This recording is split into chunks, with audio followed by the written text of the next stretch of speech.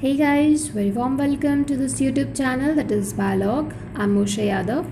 and uh, this lesson is about different type of plant tissue culture. I already explained callus culture and suspension culture in our last video lesson. So this video lesson is about another different type of plant tissue culture techniques okay so first we discuss about embroic culture so what is embroic culture embryo culture या आप किसी और culture की बात करें, उनका जो नॉमन है वो किस चीज़ के ऊपर बेसिस है कि जिस टाइप का हम लोग एक्सप्लेंट यूज़ कर रहे हैं on that basis we name them कि अगर हमने एम्ब्रॉय को एज एक्सप्लेंट यूज़ किया है देन एम्ब्रॉय कल्चर अगर हम ओवरी को एज एक्सप्लेंट यूज़ कर रहे हैं देन ओवरी कल्चर अगर एंथर को यूज़ कर रहे हैं तो anther culture right so embryo culture के केस में जो आपका एक्सप्लेंट होगा, वो एक एम्ब्रॉय होगा, ठीक है?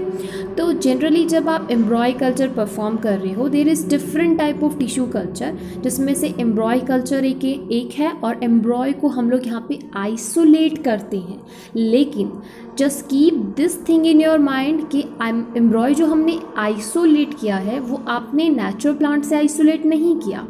यहाँ पे आप अपना एम्ब्रॉय एक्सट्रैक्ट करते हो योर इन वीवो आपका सॉरी जो इन विट्रो आपका प्लांट आपने ग्रो किया है, उससे आपने एम्ब्रॉय को एक्सट्रैक्ट किया होता है, ठीक है? दूसरी चीज़ कि इसमें जो आप एम्ब्रॉय एक्सट्रैक्ट करोगे वो आपका मेच्योर एम्ब्रॉय या इमेच्योर एम्ब्रॉय दोनों ही पॉसिबल हो सकते हैं, ठीक है? क्योंकि आप उसमें इनविट्रो इनविट्रो में आप उसे ग्रो कर रहे हो देन आपको ये, आपको ध्यान रखना पड़ेगा ये स्टेप अच्छे से कि आप मेच्योर एम्ब्रॉय ले रहे हो या इमेच्योर क्योंकि मेच्योर होने के बाद ही तो कैपेबल हो पाएगा ना, उसकी कल्चरिंग प्रॉपरली हो पाएगी, वो इंटायर प्लांट को फॉर्म कर पाएगा, ठीक है? Third thing about embryo culture is that whenever you are dealing with embryo culture then आपको जो स्टेरलाइजेशन स्टेप होता है, क्योंकि जब आप प्लांट टिश्यू कल्चर कर रहे हो इवन आप बहुत लैब के अंदर कोई भी एक्सपेरिमेंट परफॉर्म कर रहे हो देन वहाँ पे एक स्टेप आपका स्टेरलाइजेशन का स्टेप आता है स्पेशली जब आप कल्चरिंग कर रहे हो। इन दैट केस क्योंकि आपका वहाँ पे इन्फेक्शन को प्रिवेंट करने के लिए हम लोग स्टेरलाइजेशन करते हैं। चाहे आप ऑटो क्लेविंग करो या मेम्ब्रेन फिल्ट्रेशन करो, ठीक है? दोनों में से कोई भी आप परफॉर्म कर सकते हो। बेसिस के भी आप किस टाइप का एक्सप्लेंट या किस टाइप की आप कल्चरिंग वहाँ पे परफॉर्म कर रहे हो। तो एम्ब्रॉय कल्चर के टाइम पे, क्योंकि हमारा एम्ब्रॉय एक ओव्यूल से या फिर आप कहो कि आपका सीड से जनरेट हुआ है तो यहाँ पे हमें जो स्टेरलाइजेशन स्टेप है, वो हम लोग छोड़ देते हैं because already we sterilise our seed और ओव्यूल ठीक है? इम्पॉर्टेंस की बात करी जाए तो आपका जो एम्ब्रॉय कल्चर है it is use for the analysis of embryonic growth सबसे सुटेबल है हमारा ये, हमारा सबसे अच्छी एप्लीकेशन है एम्ब्रॉय कल्चर की, क्योंकि डेवलपमेंटल बायोलॉजी की बात करो या आप प्लांट की बात करो तो हम लोग क्या करते हैं? हम लोग हर एक स्टेप ऑफ़ डेवलपमेंट को कंसिडर करते हैं, हम लोग उसको नोटिस करते हैं नोट डाउन करते हैं कि किस तरीके से जो प्लांट है, उसके अंदर चेंजेस आ रहे हैं, वो ग्रो कर रहा है, किस तरीके से आपकी एक अनडिफ्रेंशिएटेड सेल डिफ्रेंशिएटेड सेल में या कंप्लीट मल्टी सेलर प्लांट में कन्वर्ट हो रही है। तो हम उस केस में आपके जो एम्ब्रॉयजेनेसिस के हर एक स्टेप को स्टडी करते हैं, ठीक है? तो अगर आपको एम्ब्रॉयजेनेसिस के हर एक स्टेप को स्टडी करना है देन एम्ब्रॉय कल्चर एक बहुत ही बेस्ट मेथड है, क्योंकि एम्ब्रॉय कल्चरिंग के थ्रू आप आराम से एम्ब्रॉयजेनेसिस के अंदर जो भी आपकी स्टेजेस आ रहे हैं, उनको ऑब्ज़र्व कर सकते हो, आप उनको स्टडी कर सकते हो, उनको एनालाइज कर सकते हो, ठीक है? The second importance of embroidery culture is that it is useful to understand the control of differentiation and the nutritional requirement of smaller embroidery.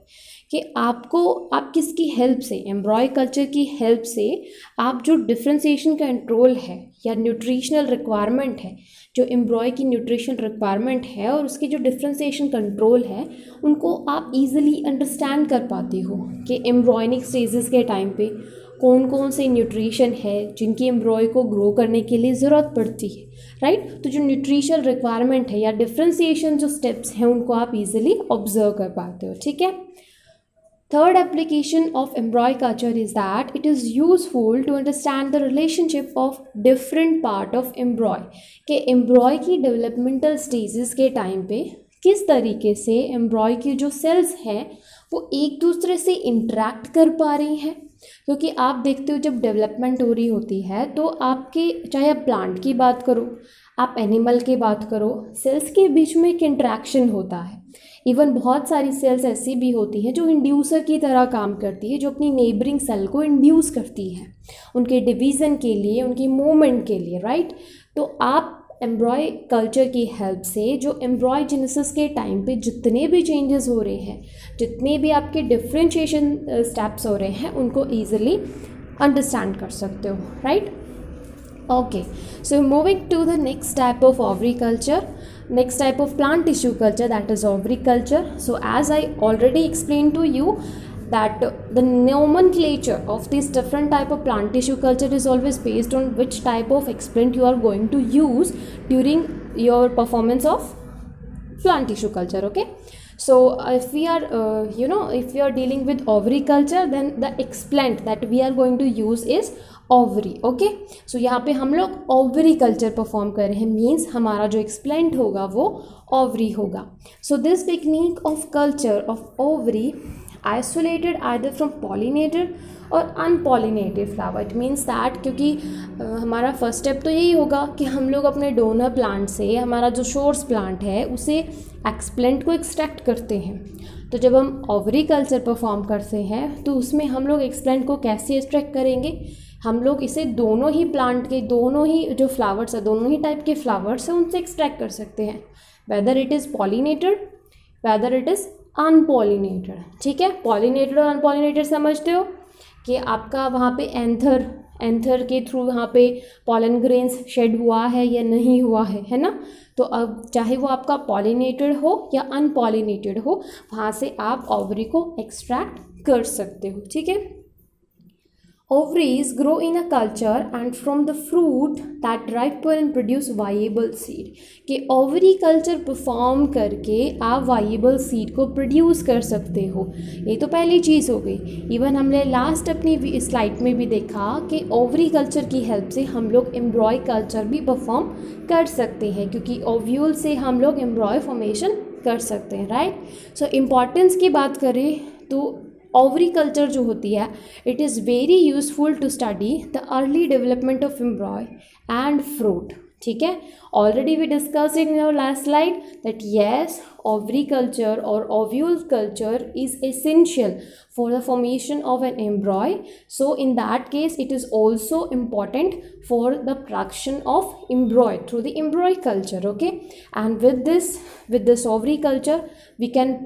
produce our embryo as well as we can also study the different developmental stages of embryo or we can say that we can easily study the concept of embryogenesis that how the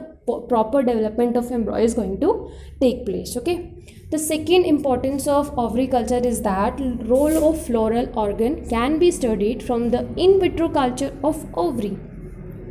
with the help of ovary culture, you can easily understand the concept of floral organ. Because आपने देखा होगा कि generally हम लोग normally लेते हैं कि हमारे जो फ्लावरिंग प्लांट होते हैं, उनके अंदर आपके चार फ्लोरल ऑर्गन्स होते हैं sepal petal carpel and stamen ठीक है?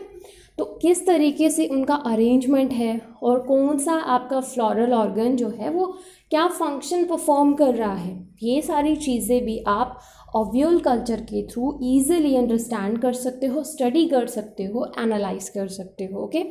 so third application of ovary culture is that it is useful to eliminate the obstacle such as failure of pollen germination on stigma or the slow and insufficient growth of pollen tube as well as abscission of flower कि ovary culture की help से आप ये जितनी भी आपकी obstacles आती हैं लाइक पॉलिनेशन नहीं हो पाया पॉलन ग्रेन्स जो हैं, वो स्टिग्मा तक नहीं पहुँच पाए या जर्मिनेट नहीं कर पाए, है ना? क्योंकि पॉलिनेशन के बाद भी हम लोग पढ़ते हैं कि प्री रिप्रोडक्टिव और पोस्ट रिप्रोडक्टिव बहुत सारे आपके आइसोलेशंस होते हैं, है ना? तो जब आप प्री रिप्रोडक्टिव आइसोलेशन की बात करते हो, आप प्री फर्टिलाइजेशन इवेंट की बात करते हो तो उसमें बहुत सारे इवेंट आते हैं। जिसमें आपका ये भी होता है कि या तो आपका पॉलिनेशन प्रॉपरली नहीं हो पाता। पॉलिनेशन हो गया तो पॉलन ग्रेन जो है वो स्टिग्मा पर शेड नहीं हो पाए। शेगमा स्टिग्मा पर शेड हो भी गए तो जामिनेट नहीं कर पाती। मीन्स डिफरेंट डिफरेंट इवेंट्स होते हैं that are responsible for not the fertilise means fertilisation event ना हो, उसके लिए रिस्पॉन्सिबल होंगे। तो ओवरी कल्चर की हेल्प से इन सभी ऑब्स्टेकल को आप रिमूव कर सकते हो।